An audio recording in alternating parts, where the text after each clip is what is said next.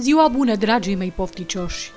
Vă ispitesc astăzi cu niște delicioase pateuri cu brânză, rumene, cu o crustă fină de aluat, foietaj cu unt și umplutură din belșug, cum nu se poate mai gustoase alături de un pahar de chefir sănătos de la Alba Lact, făcut întotdeauna din lapte colectat doar de la fermierii români. Rămâneți alături pentru lista ingredientelor și modul de preparare. Ingredientele pentru pateurile noastre cu brânză sunt accesibile. 350 de grame de aluat foietaj cu unt, preferabil făcut în casă, dacă nu e posibil, e bun și unul de cumpărat, iar dacă doriți să-l faceți voi înși vă, accesați linkul care doar ce a apărut în dreapta ecranului. Firește, vom avea nevoie și de brânză. Eu folosesc o combinație din 300 de grame de brânză de vaci grasă, bine scursă de zer, și 150 de grame de telemea, care are și rolul de a săra umplutura. Pentru o variantă mai picantă puteți folosi și brânză de burduf. Vom mai avea nevoie de două ouă ouă mari și de o lingură de semințe care pot fi de mac, de susan sau care vă plac vouă mai mult. Eu le prefer pe cele de negrilica și pe acelea le voi folosi. În plus, vom mai avea nevoie de puțină făină pentru presărat planul de lucru. Să ne apucăm de treabă. Pentru că prepararea preliminară durează destul de puțin, încă de la început pornim cuptorul și îl fixăm la 200 de grade Celsius. După cum se vede, începem cu brânza de vaci pe care am pus-o într-un castron, apoi răzuim telemeaua prin răzătoarea mare deasupra ei.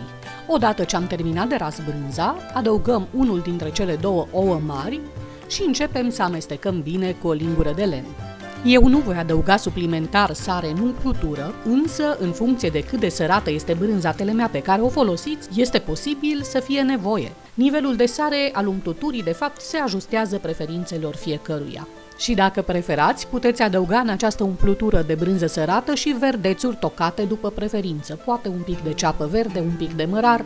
Eu de data asta am preferat să o las simplă pentru că așa sunt sigură că va fi pe gustul tuturor. Foarte important este că trebuie să obținem o umplutură fermă, consistentă, care să nu aibă tendința de a curge, pentru că dacă ar fi așa, sigur ar curge în timpul coacerii și din pateurile noastre.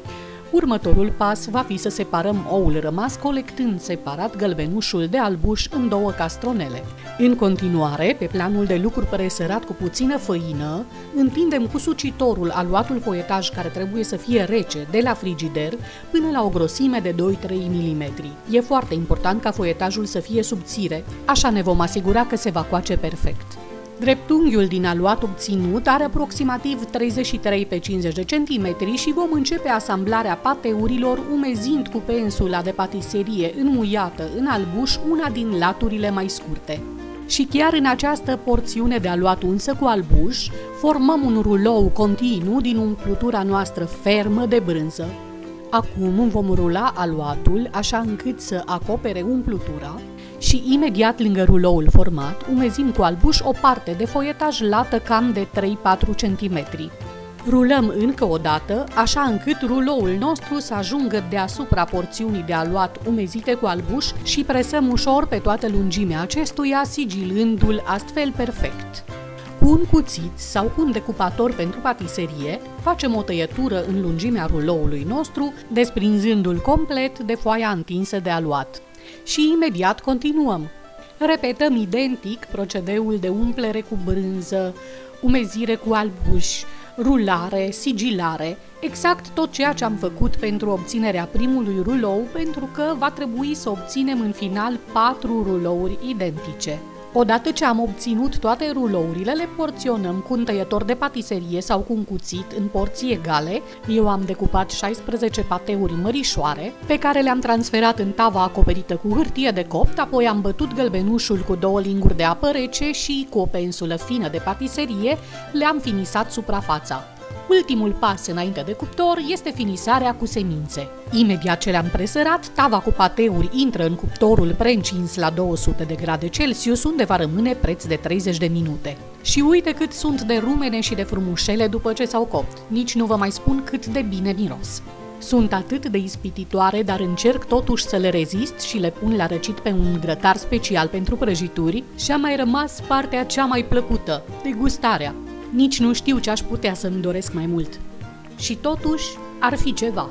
Un pahar cu chefir sănătos de la Alba Lact va face aceste pateuri cu brânză să devină desăvârșite.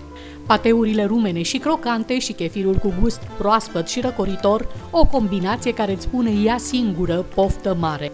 Și, dragii mei, dacă povestea de astăzi v-a mers la suflet, nu uitați să vă abonați la canalul de YouTube Laura Laurențiu, unde vă aștept mereu cu noi idei și povești delicioase.